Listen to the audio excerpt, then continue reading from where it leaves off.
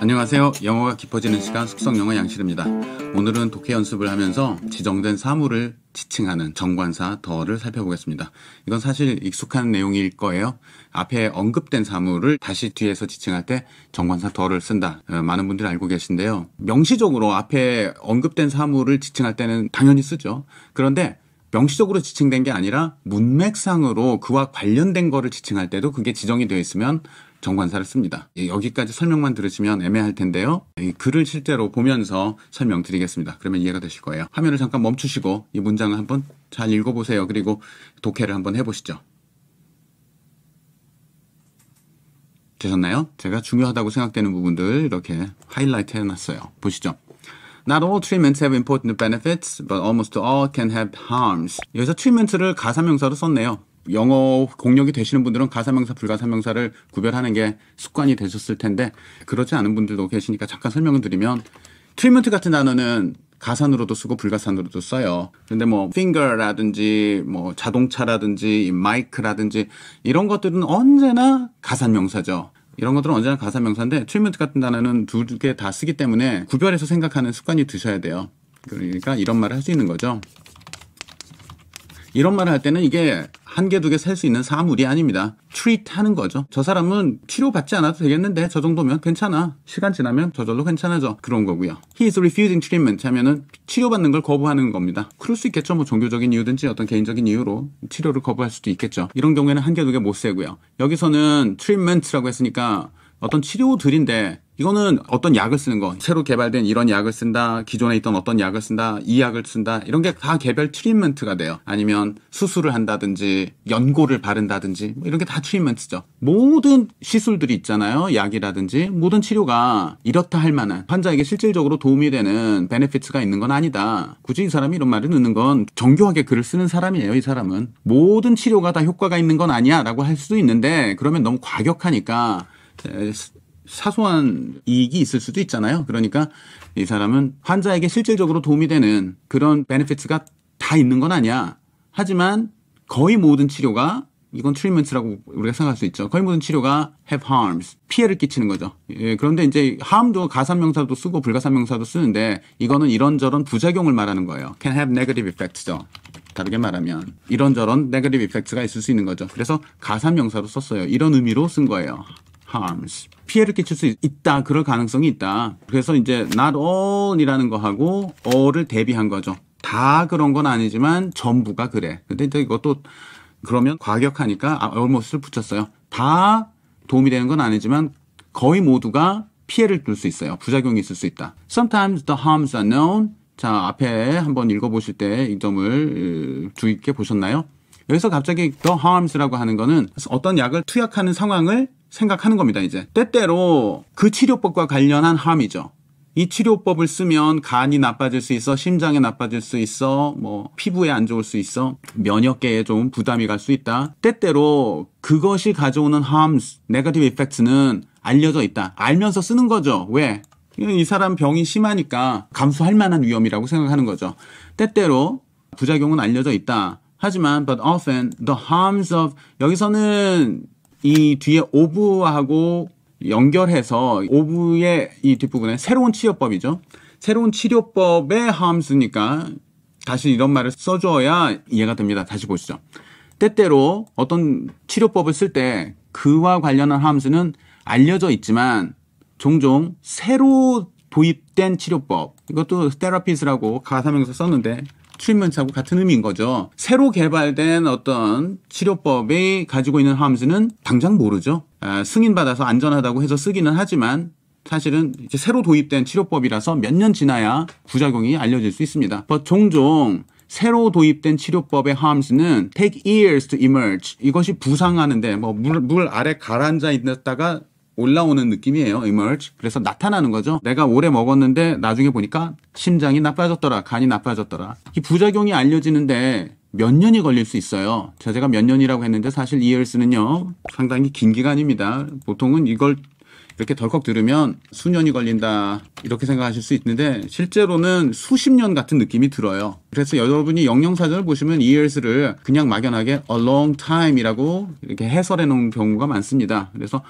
오래 걸리는 거예요. 오래 걸려야 그리고 나서야 비로소 부작용이 알려지는 경우가 종종 있죠. 그러면 이미 많은 사람들이 after many have been exposed 이미 그 위험이죠. 그 harms죠. 이 harms에 이미 노출되고 나서 말이에요. 그러면 너무 늦다는 거죠. 많은 사람들은 이미 노출된 후가 됩니다. to those harms인데 이거는 뻔하니까 안 써도 되죠. 그리고 현재 완료 쓴 거 받으시고요. 이미 이런 상황입니다. 이미 그 위험에 노출되고 나서 말이에요. 자, 그 다음에 이응 연결되는 내용이에요. 여기서도 잠깐 멈춰 보시고 보시죠. 이거 볼까요? For the severely ill 자, 이거는 우리가 자주 보는 용법이에요. 그래서 어, the rich 하면은 부자들이 되죠. 그래서 복수 취급하죠. 부자들, the poor, 가난한 사람들 이런 말인데요. 이제 이게 사물일 때도 있습니다. the old 해서 사람으로 쓰면은 노인들 해서 복수 취급인데요. 이게 사물을 나타낼 수도 있어요. 그러면 낡은 것. 그래서 단수 취급합니다. 보통은 단수 취급합니다. 복수 취급할 때도 있어요. 가끔. 그래서 우리가 과거의 전통을 모두 버리고 새로운 것만 받아들일 것이냐. 그것이 아니다. 과거의 전통에서도 좋은 것은 남기고 새로운 것을 받아들여야 된다. 이런 말 할 때도 we need to find a healthy balance between the old and new. 이런 말 할 때는 between the old and the new 뭐 다 써도 되고 하나만 쓰셔도 됩니다. 이때는 낡은 것과 과거의 것과 새로운 것 사이에 자 여기서는 이걸 목적으로 나왔기 때문에 동사가 안 나왔지만 이게 주어 역할을 하는 경우도 있어요. 그러면은 이걸 단수 취급해요. 노인들이라는 의미로 이걸 말할 때는 복수 취급하죠. 이걸 그러니까 여기서는 부사까지 붙었는데 for the ill이에요. 기본적으로 for the ill 하면 아픈 사람들이죠. 환자들. 심하게 아픈 사람들, 중증인 사람들에게는 these harms, 어떤 약을 썼을 때 이게 신약이다. 이미 기존에 알려져 있는 약이나 치료법은 이것의 부작용을 압니다, 사람들이. 하지만 아프니까 쓰는 거죠. 그리고 신약을 쓴다고 해보죠. 그럼 신약은 이것이 앞으로 어떤 부작용을 가져올지 잘 모르죠. 사실은 불안감이 있지만 그래도 이 사람이 너무 아프고 상태가 안 좋으니까 씁니다. 그때 감수하는 거죠. For the severely ill, 자 중증인 사람에게는 these harms, 이 위험이 여기서 these harms 안 분장하고 연결된다고 생각해 보면 부분에 무슨 말이 있었습니까? The harms of new treatments죠. 새로운 약품들 또는 기존에 알려져 있는 것의 harm이죠. 자, 이 부작용들은 일반적으로 pale합니다. pale이라는 거는 형용사로 청백한이라는 의미도 있고 창백해지다라는 동사도 있어요. 그런데 여기서는 동사인데 청백해지다가 아니라 얘에 비하면 얘는 별 볼 일 없어 중요하지 않아. 그러니까 얘는 빛이 예, 색깔이나 이런 게 희미한 거예요. 이거에 비하면. 자, 이 부작용들은 pale 이거에 비하면 pale하다. 예, to the potential benefits. 여기서 또 정관사 쓰고 benefits라고 했는데 그 약이 그 치료법이죠. 그 treatments가 가져올 수 있는 잠재적 효과에 비하면 이 피해들은 대체로 일반적으로 미미합니다. 이것에 비하면 미미합니다. 라는 말이죠. 하지만 그러니까 이거는 중증인 사람들의 경우에 그런 거예요. 중증인 사람의 경우에는 그래서 이걸 위치도 문장 맨 앞에 넣어줬죠. 중증인 사람의 경우에는 이 부작용이 그 약으로부터 우리가 잠재적으로 얻을 수 있는 이익보다 어, 미미합니다. 하지만 for those experiencing mild symptoms 그럼 이건 뭐예요? 다르게 말하면 경증에 심하지 않은 증상을 갖고 있는 사람들에게는이죠. 그러니까 다르게 말하면 for those mildly ill이죠. 아까 for the severely ill 한 것처럼. 그런데 영어로 말하는 사람들이 이 형태를 기계적으로 이렇게 똑같이 형 똑같은 형태로 맞추는 걸 그렇게 좋아하지 않아요. 그러면 너무 기계적으로 느껴지고 에, 유치해집니다 문장이. 그래서 이 사람이 조금 바꾼 거죠. 하지만 for those experiencing mild symptoms 이런 사람들에게는 the harms 뭐예요? 내가 어떤 약을 쓴다고 했을 때, 이 약을 쓴다거나 어떤 시술을 받는다고 했을 때, 그로 인한 harm이 become much more relevant. 훨씬 중요해집니다. 훨씬 더 중요해집니다. 그러니까 내가 severely ill 한 사람이라면, for severely ill 한 사람들에게는 이것이 가지고 있는 이 부작용이 relevant 하지 않죠. 아, 별 의미 없어요. 그런데 내가 경증이에요. 증상이 심하지 않은데 어떤 약을 먹으려고 하는데 혹은 어떤 수술을 받으려고 하는데 이로 인한 부작용이 클 수 있대. 그러면 어 그러면 이제 걱정되죠. 이건 고려를 좀 해야 돼요. 이게 중요해집니다. 의미가 있어요. And for the many 그리고요 경증인 사람들에게는 이게 상당히 중요해요. 중요한 고려 요소가 됩니다. 그 부작용이. And for the many labeled as having pre-disease. 전체 글이 요즘에 너무 진단이 남발된다라는 거, 그거 비판하는 글이었는데, 그래서 요즘 그런 것도 있잖아요. 내가 당뇨는 아닌데, 전당뇨, 뭐, pre-diabetes, 이런 말을 해요. 그래서 pre 뭐가 붙는 병, 들이 많이 있어요. 그 전 단계다 하면서 또 약을 주고 치료를 해요. 그러니까, for the many labeled as 뭐라고 having pre-disease. pre-disease가 있는 것으로 레이블 되는 사람들.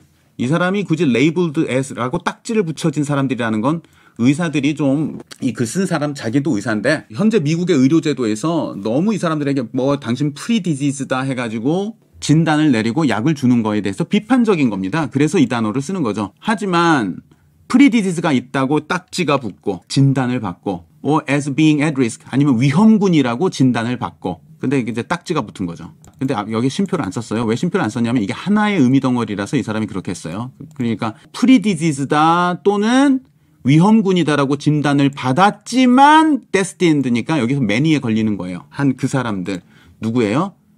to remain healthy. 앞으로 원래 치료를 안 받아도 그러니까 내가 지금 당뇨 위험군이라고 어떤 치료를 받는다고 합시다. 그런데 사실은 당뇨 위험군인데 그중에 진짜 당뇨가 되는 사람도 있고 안 걸릴 사람도 있잖아요. 위암이나 폐암 위험군인데 나중에 안 걸릴 수도 있잖아요. 그러니까 위험군이라고 프리디즈가 있다고 딱지가 붙거나 위험군이라고 딱지가 붙지만 사실은 안 걸릴 사람, 원래 안 걸릴 사람이었다면 그리고 그런 사람들이 세상에는 많이 있죠. 이 말이에요. The many who are 이렇게 이 who아는 지금 생략할 수 있죠. 그래서 생략하고 쓴 거고요. 위험군이라고 진단을 받지만 뭐뭐 할 사람. 그래서 many의 한 덩어리로 붙는 형용사라고 생각을 하시는 게 좋아요. 이 부분을. 이게 하나의 형용사 덩어리처럼 느껴져야 돼요. 그래서 but 앞에 쉼표가 없습니다. 여기서는. 뭐뭐라고 진단받지만 사실은 괜찮을 사람들에게는 treatment can only cause harm. 이 사람들에게는 치료를 한다는 것이 여기선 치료면 treatment가 지금 관사가 없죠. 단수인데 관사가 없다는 건 불가산 명사라는 거예요. 단수 명사 뭐 이런 연필이라고 해볼까요? 가산 명사 단수를 쓸 때는 반드시 가산 명사의 경우에는 관사가 붙잖아요. 어 펜이나 더 펜이죠. 관사 없으니까 이건 불가산이에요. 그러니까 이거는 불가산 명사고 동적으로 생각을 하셔야죠. 이런 사람들에게는 치료를 하는 것은 혹은 치료를 받는 것은 can only cause harm. 피해를 가져올 수밖에 없어요. 여기 harm은 또 어때요? 불가산으로 썼죠. 앞부분에 계속 보면요. harms, harms, harms 그렇게 했어요. 그거는 이런저런 부작용들이 있을 수 있어요. 라는 의미로 쓴 거예요. 어떤 어떤 부작용이 있는가? 아, 이 약을 먹으면 심장이 나빠질 수 있어. 폐가 나빠질 수 있어. 간이 나빠질 수 있어. 이런 이런 함들이 있는 거죠. 부작용들. 이 글에서는 이런 여러 가지 부작용을 일으킬 수 있어요. 라고 해도 돼요. 해도 되지만 이 사람은 관심이 어디냐면 이건 그냥 이건 해로와 안 좋은 거야. 이렇게 말하는 거예요. 자, 프리디지즈다, 위험군이다 해서 하지만 사실은 병에 안 걸릴 사람들한테는 치료를 하면 해로울 수밖에 없어. 도움이 되는 게 없이 해로울 수밖에 없습니다. 라는 의미로 말을 하고 싶기 때문에 가사명사를 안 썼어요. 그리고 여기서도 이런저런 치료법이라고 하지 않고 이 사람을 치료하는 것 자체가 나쁘다라는 거죠. 자, 이렇게 해서 관사 사용법도 봤고요. 같은 단어를 가사명사로 쓸 때, 불가사명사로 쓸 때 어떻게 의미가 달라지는지도 살펴봤어요. 하나 주의하실 거는 우리가 영어 공부를 피동적으로 하면 이렇게 써 있는 걸 이렇게 이해하면 되겠구나라고 생각하실 텐데 중요한 거는요. 이 써 있는 영어를 어떻게 이해하느냐, 혹은 우리가 영어를 들었을 때 어떻게 이해하느냐도 중요하지만 그걸 정확히 이해해야 말할 때 정확히 말할 수 있어요. 여기서도 보면 이런 사람들에게는 치료해봤자 피해만 줍니다. 이런 느낌이에요. 치료해봐야 피해만 줍니다. 그러니까 그런 식으로 말하고 싶을 때는 여러분도 불가산으로 쓰시는 거죠. 이 점 잘 기억해 두시고요. 오늘도 즐거운 하루 되시길 바랍니다. 감사합니다.